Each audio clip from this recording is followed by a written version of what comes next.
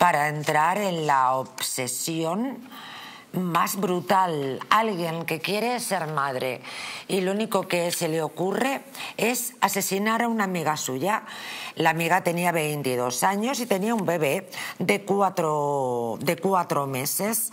Bueno, esta mujer ya sale, ya sale de permiso, se lo contaba al inicio del programa, tras más de 72 horas de investigación. Isabel Marcos, que así se llama, la persona que, que ya sale de paseo y que cometió este crimen execrable, indicó a los guardias civiles dónde buscar. Dijo que ella misma había cavado el hoyo y que estaba enterrada en casa de sus padres en La Coruña.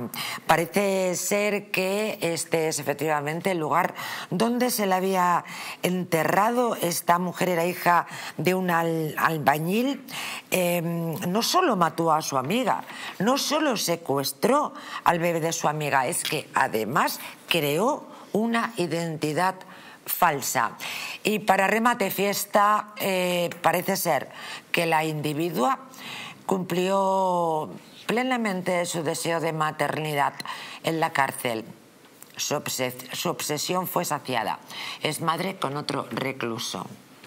¿Por dónde cogen este caso, señores? Pues, eh, la verdad es que es eso, humana y socialmente eh, terrible, pero bueno, en cuanto que haya salido en libertad, pues no hay nada más. en 2002. No hay nada más que el cumplimiento de las penas. El artículo 25.2 de la Constitución es taxativo.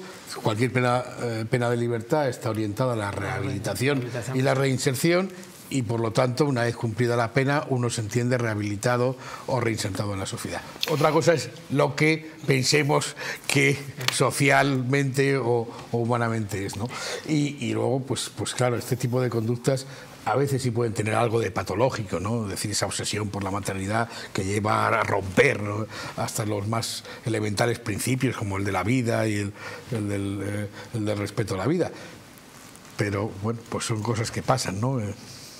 Sí, he recordado, pero mm, prefiero eh, subrayarlo. Esto, mm, este suceso aconteció el 16 de agosto del año 2002. Pocos meses más tarde, eh, la autora del crimen, bueno, del crimen, de la falsa identidad, de, la, bueno, el secuestro de la criatura y la, y la y también la, doble identidad, falsear la identidad de, ella y del, y del muchachito, ¿no? Confiesa ante la Guardia Civil, pero cuando se ve ya pillada, porque este asunto también lo prepara bastante, bastante bien. Ella simula un embarazo, se pone cojines, mata a su amiga, ¿eh? de un, parece ser de un golpe en, en la nuca, luego cuenta con la colaboración de los padres y la entierra en la casa o la, con un, incluso echan hormigón y luego pues secuestra al, al hijo de, la, la, víctima.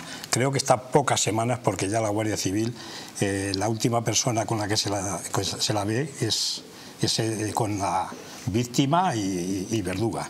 Entonces, eh, luego también parece ser que tenía un un papelito donde la implicaba, la había sedado y ese, ese, ese, papel de la farmacia obraba en poder de, de, la persona que la, vamos, de esta, de esta mujer que, lógicamente no tiene, un, no tiene un pase. Y luego también incluso los fuecos que llevaba, los fuecos que llevaba la víctima aparecen en casa de, en casa de ella no tenía tampoco muchas, muchas luces, porque si sabe que la Guardia Civil va a registrar el ese, pero bueno. y además era un, pueblecito, supongo que esto es importante, muy chiquitito, apenas 2.500 habitantes, todo el mundo sabía quién era quién, supongo que esto es un dato importante, ¿no? Es importante porque lo primero que daba absoluta confianza, esta mujer parece ser que llegó al pueblo, que no tenía amigas, y esta persona, pues, de alguna manera se eh, compromete allí a acompañarla y hace alguna de, alguna manera,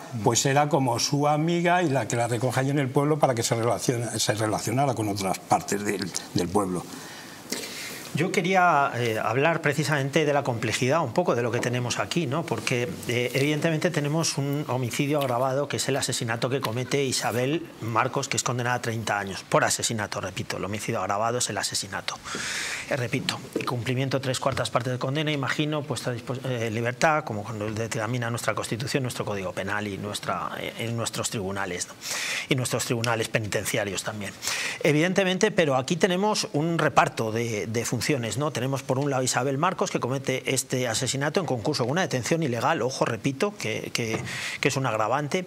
Eh, María, eh, María, que, eh, precisamente es cómplice de asesinato y de detención ilegal también. Por eso estoy hablando de esta, de esta complejidad, que al final, bueno, pues por los diferentes recursos mm, se le baja la pena de 25 años a 10 años, ¿no?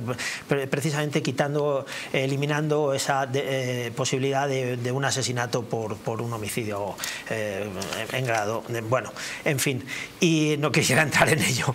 y luego, eh, sí, bueno, de María, que y luego José Carlos y Ángel, que, realizan también eh, este, bueno, son cómplices, de hecho, uno, uno por detención ilegal y cómplice de asesinato, en el cual, pues, eh, hablo de, lo que, del reparto que tenemos aquí de funciones para, para la comisión de este asesinato, porque lo más curioso es que estamos hablando, pues, en concreto de cuatro personas que se conjuran para cometer estos en sus diferentes, en sus diferentes eh, funciones. ¿no?